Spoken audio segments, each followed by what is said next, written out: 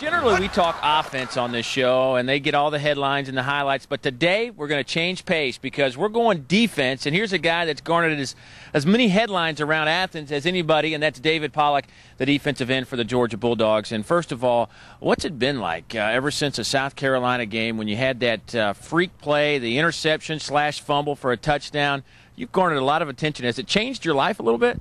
Well, uh, yes, sir, definitely. Um, definitely with the media and uh, going to class, people actually know you instead of being invisible. But uh, it's, I mean, it's the same old, same old. Still got to work hard, still got to do things, but it's not about me. It's about the team, and we're six and zero, so we got no complaints. Well, certainly the team defensively has been uh, uh, super this entire season so far. The offense has been a little sluggish, waiting for that breakout game, but consistency on defense has been the key. What has brought this defense around? Uh, not that it was poor last year, but it seems like it's kind of uh, an area that you guys can hang your hat on every Saturday.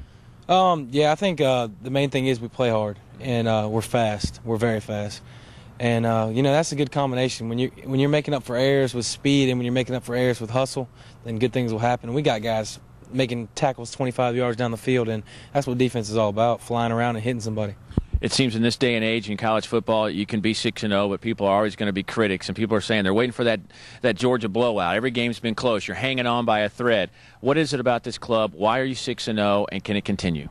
Well, you know, um, I, I, hope we're the ugliest national champions or SEC champions ever. You know, I get that a lot. Yeah, you know, y'all are only, but y'all are barely winning. Hey, we're winning.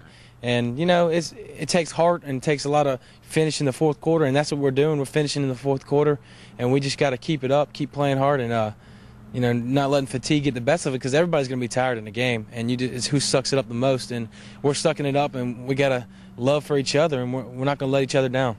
Well, in terms of you, you came here, thought about playing a little offense, a little fullback. You've been moved around a little bit. Here you are as a sophomore, defensive end, seven sacks, over 40 tackles. Uh, how has it been getting to this point? Has it been kind of confusing for you, and did you just settle into this spot? Well, uh, I think I got asked the same question last year about playing defensive tackle.